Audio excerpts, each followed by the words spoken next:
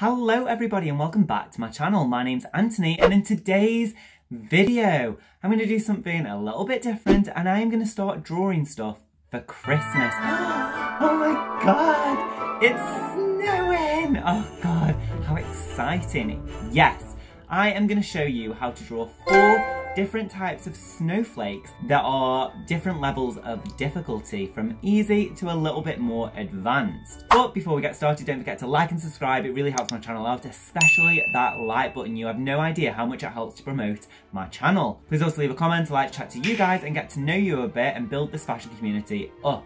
Alright, okay, let's just get straight in there and let's get started. Okay, first things first, as you can see, I have got four different images of snowflakes that I would like to try and recreate. And as you can see, they go up from very, very simple to a little bit more difficult, then it's a little bit more extravagant and detailed, and then one that's completely drawn into and very Christmassy and very exciting. So, first things first is I'm gonna draw this simple one here. Okay, so the first thing that I'm gonna do is draw a line. And then I'm going to make sure that that line is really thick. So I'm going to say maybe around 20. Mm, let's just go a little bit thinner. Let's go 14. Okay. And then I'm going to round the cap, which is just this little button at the side here. And then I'm going to draw another line.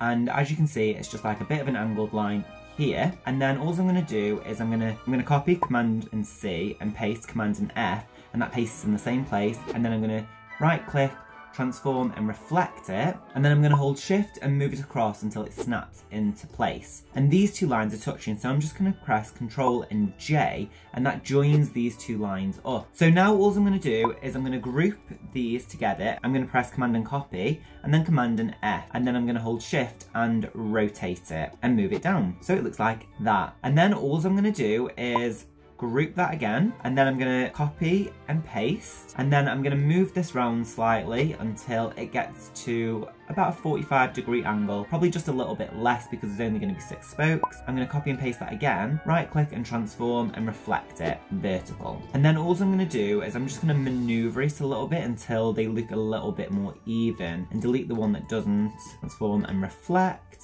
and there you go. Now, if you wanted to, you can make it thicker at this point, so let's go to 20. Perfect. And now what I'm gonna do is I'm gonna go Object, Path, Outline Stroke, and that basically makes an outline of every single one of the lines that you've drawn and it's no longer just a line. So then I'm going to go here to my Pathfinder and then I am going to click the Unite option and that unites it all in one. So then all I'm going to do is I'm just going to outline it and then colour it in the blue colour, make the outline thick and there you go. That is your first snowflake done. Easy, right? Hey, let's get on to the next one. So we're going to do the exact same process again, but this time we're going to just put more lines in it. So as you can see, the top one is slightly bigger than the middle one. So we're just going to draw that, and then we're going to do the same process, and then I'm going to copy and paste that again, and bring it slightly lower, and make it slightly smaller, okay?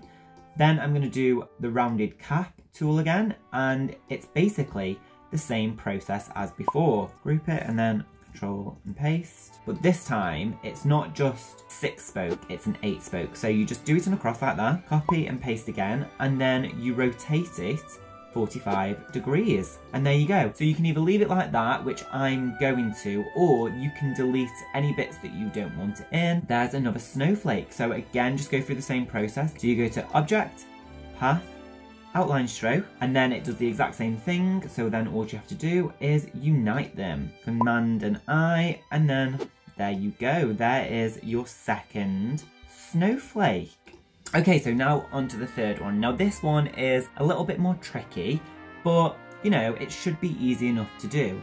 So as you can see, it's a star shape. So, so if I just click here on my rectangle tool option and hold it, the other options come where you can do a star tool. Here's where you can draw a star, and as you can see, if I hold shift, it just snaps into place and makes sure it's the right way up. But it's not got enough spokes, so if you just press the up or down button, you can add more or less. So here we go, we're gonna add six spokes and what I'm going to do is I'm going to make the line thicker mm, let's go around 16 and then get rid of the internal and then I'm going to go object path offset path. And what this does is it basically means that you can get a drawing of the same shape either externally like I'm doing now by pressing up or internally by pressing down. So I'm going to go six millimeters in and then I'm also gonna make the line a little bit thinner. The next stage is we're just gonna get that and copy and paste it again. And this time we're gonna rotate it round and make it a lot smaller. See how it's building up now? So now I'm just gonna go to my align tool, align it vertically and align it horizontally. Now what I'm gonna do, I'm gonna click on these two back ones and they're the ones that I'm gonna outline and send them to the back by pressing Command Shift and the back bar space. And then these two, I want that one to be filled in. So I'm going to fill that in in white. And I'm also going to fill this one in as well, but maybe I'll do that black. Then what you can do is select the ones that you want to join and then unite them all. And then that's one object in the background. And then you want this kind of like little star in the middle. So again, you can just add more or less. I'm going to add more because I actually think it looks quite nice. And then I'm just going to rotate it so it's in the right position. And then I'm just going to draw a little circle in it. So now what I want to do is I want to merge, I've merged all of them and I want to delete this star from the front. So what I'm going to do is go to my Pathfinder again and click on this button, which is minus from front. And I've got these two as well. So what I'm going to do is I'm going to fill this whole thing with that, and then I'm going to fill this as well. And there you go, that's one. I actually don't like this center thing, so I'm going to get rid of that, and then I'm going to do another star, just like a six pointer. That other one wasn't as nice. So here we go. And I'm going to rotate it until it's at an angle that I like. And then if I just centralize it, and that's another snowflake, done. And then now onto the more complicated and difficult one. So this is going to be a lot of different components. This is going to be a lot of different uh, shapes that we make up and a different way of doing it. So again, bringing out the star tool. So I want a six pointed star and then what I'm going to do is I'm going to try and get this like kind of rounded shape. So all I'm going to do is I'm just going to click on these different points that I want to amend and then I'm just going to drag them out using this little circle and that kind of makes a similar shape. So that's done. And then I really like this kind of little edge on that's going on in here. So I'm going to go object, path, offset path, and then I'm just gonna go a little bit smaller. And then what I'm gonna do is I'm just gonna use my scissors tool and then just snip off here and here. And then I'm gonna get rid of the rest. So then what I'm gonna do is I'm gonna use my line tool to make it thicker. And then I'm gonna use my profile to make it a little bit pointy at the end. And then all I'm gonna do is I'm gonna rotate it round and put it in the same position, transform and reflect vertically. Then what I'm gonna do is I'm gonna start building this tree. So again, I'm gonna use my star tool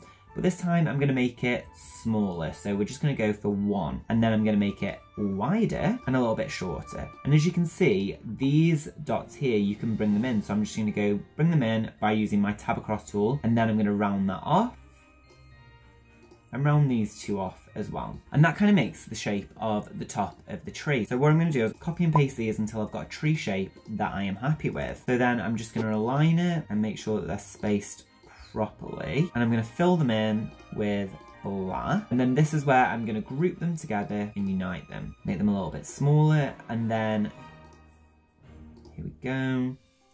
Make the line thicker. Okay, so there we go. There's the kind of tree section. Now I need to make the trunk, which is pretty easy. I'm just gonna do this and I'm gonna align it so it's all in the center. There you go, there is the trunk. So I'm just gonna rotate this until that's at the top and I can put that there. And if it makes it easier, I can just do that. But what I wanna do is I do want that thicker. So we're gonna go four, don't need that center bit. So now all I need to do is copy and paste this round and move it into position copy and paste, and then copy and paste and reflect. Boom, and there are all the Christmas trees done. So now what we've got to do is work on the stars in the center and we know how to do stars so I'm just to pull up another star and then make one with six and put it in the center. Actually what I'm to do is I'm to group all of these trees together and then what we can do is we can highlight everything and put them all in the center. And then let's do another star, but we'll do a five pointed one this time. And we'll just make it a little bit smaller than the one that I've put in the center. And then I'm gonna copy and paste that and rotate it round so it's upside down and move that